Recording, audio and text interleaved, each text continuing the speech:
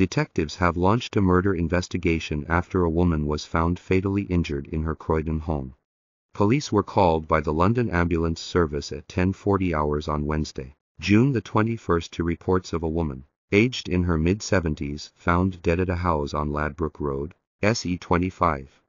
Her family has been informed. Formal identification is yet to take place. A post-mortem examination will be held in due course. Detectives from the Specialist Crime Command are leading the investigation.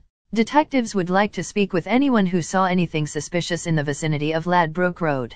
Detective Chief Inspector Kate Blackburn said, We are in the early stages of our investigation, but I am urging anyone with information to contact us as soon as possible.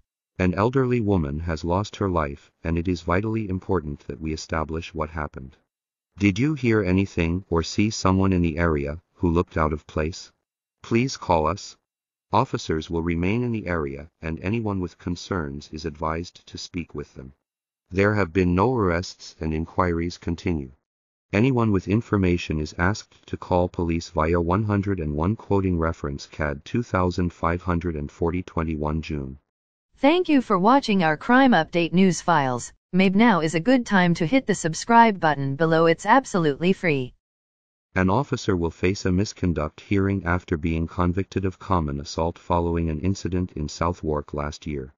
PC Luke Wenham, attached to the Central South Basic Command Unit, appeared at Westminster Magistrates Court on Wednesday, June the 21st where he was found guilty following a one-day trial of two counts of common assault. He is due to be sentenced on Wednesday, July the 26th. PC Wenham's conviction follows an investigation by the Independent Office for Police Conduct IOPC. On Wednesday, August 17th, PC Wenham was one of a team of officers who attended an address in Albert Barnes House SE1 to carry out an arrest inquiry for a man wanted on suspicion of robbery.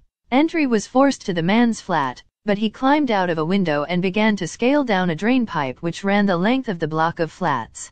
As he did so, PC Wenham leaned out of an open window and discharged PAVA spray at the man who continued to climb down the pipe.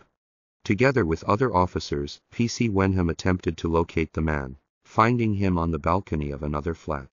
When officers found him, the man continued his attempts to escape, climbing down the outside of the building as before. Again, PC Wenham deployed PAVA on him.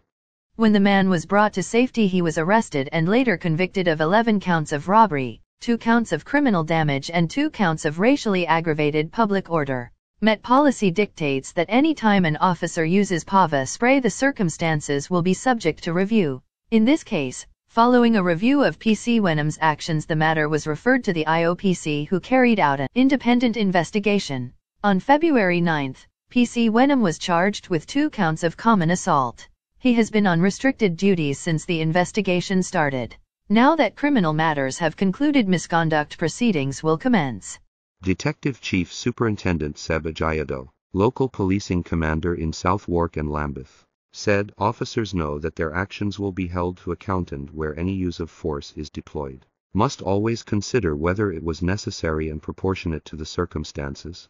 It is clear in this case that not only was PC Wenham's response completely disproportionate to the situation he faced, but also, by doing what he did, he put a member of public at risk of harm.